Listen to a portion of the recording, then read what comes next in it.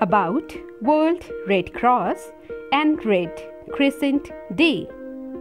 Every year, World Red Cross and Red Crescent Day is celebrated on 8 May. This date marks the birth anniversary of Henry Dunant, who is the founder of the International Committee of the Red Cross. He was born on May 8, 1828. He was also the recipient of the first Nobel Peace Prize. The day aims to broaden the public's understanding of the International Red Cross and Red Crescent movement. The day also signifies appreciation for the volunteers who are always ready to help the needy.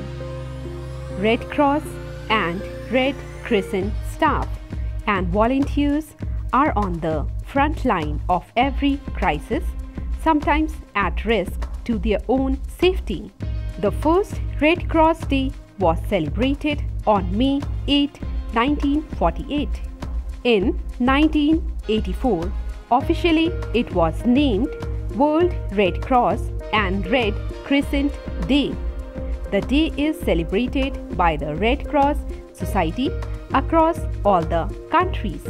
Hope you like the video. If you like the video, do like, share and subscribe to my channel to get more latest videos. Thanks for watching.